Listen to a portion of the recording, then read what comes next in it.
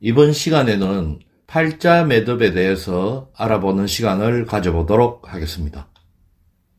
팔자 매듭은 여러분들이 아시다시피 상당히 유용한 방법입니다.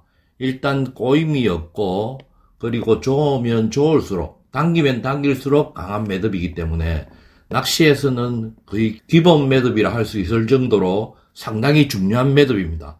오늘 일단 팔자 매듭에 대해서도 알아보고 팔자 매듭을 이용한 그러니까 강하고 쉬운 도래 연결법에 대해서 한번 보여드리도록 하겠습니다. 일단 팔자 매듭은 제가 한 번씩 보여드리는 게 그냥 손으로 잡고 이렇게 밑으로 가서 위로 올리고 또 위에서 이렇게 밑으로 들어가는 그런 식으로 하면 이렇게 팔자 매듭이 완성이 되죠. 보통 이렇게 되는데 좀 쉽게 할 때는 이렇게 하실 필요가 없습니다. 이게 이제 주로 어부분들도 많이 사용하시고 이제 아시는 분들은 사용을 하시는 방법인데 이렇게 일자로 있는 원줄을 두 겹으로 이렇게 만듭니다. 두 겹으로.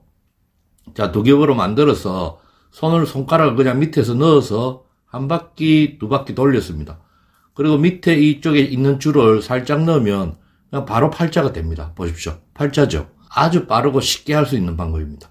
자, 다시 한번 보여드릴게요. 이렇게 원줄이 있고, 원줄을 두 겹으로 지시고, 손가락 두 개 정도를 밑으로 넣고, 한 바퀴, 두 바퀴만 돌리시면 됩니다. 두 바퀴만 돌리시고, 이쪽 밑에 쪽에 있는 원줄을 밑에서 위로 살짝 넣으셔서, 살짝 당기시면, 이렇게 팔자 모양이 되죠. 이대로 좋으면 팔자 매듭이 되는 겁니다. 예, 쉽죠? 이제 이 방법을 이용해서 여러분들께서 쉽고 강한 도래묶음법을 할 수 있도록 제가 보여드리겠습니다. 일단은 오른손에 원줄을 지시고 왼손에 도래를 이렇게 칩니다. 도래를 이렇게 지시고 어느 쪽으로든지 원줄을 도래 위에 구멍으로 살 잡아 당겨 주십니다. 이렇게 예, 이렇게 됐죠.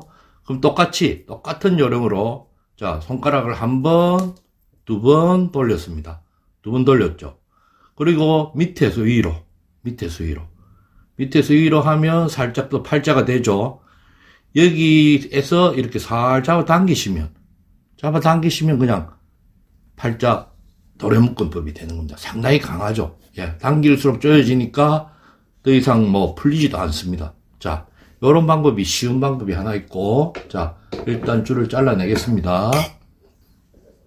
잘라내고, 자, 다시 한번 보여드리겠습니다. 오른쪽 손의 원줄을 돌의 구멍 쪽으로 아무 쪽이든 상관은 없습니다. 돌의 구멍 쪽으로 살 집어 넣으시고 두 겹으로 이렇게 잡습니다. 이렇게 잡았죠. 잡고 조금 전에 제가 보여드렸듯이 두 번만 한 번, 두 번 돌렸습니다. 자, 두 번 돌렸죠. 그럼 여러분 보시기 좋게 보시기 좋게 지금 형태는 이렇게 되어 있는 형태입니다.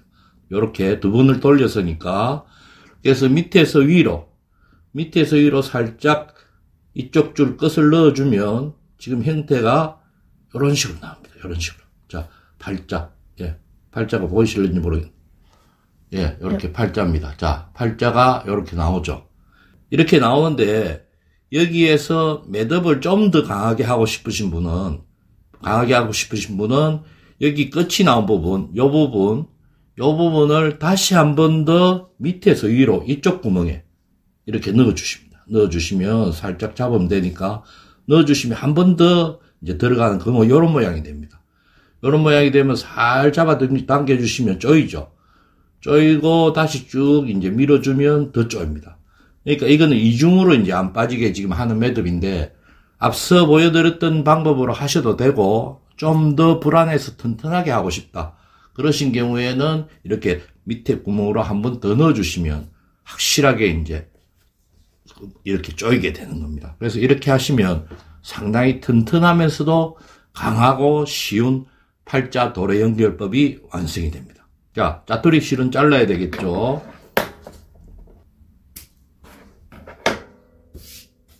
자, 이렇게 완성된 아주 쉽고 강한 팔자 도래 묶음법입니다. 누구든지 잡을 수 있습니다.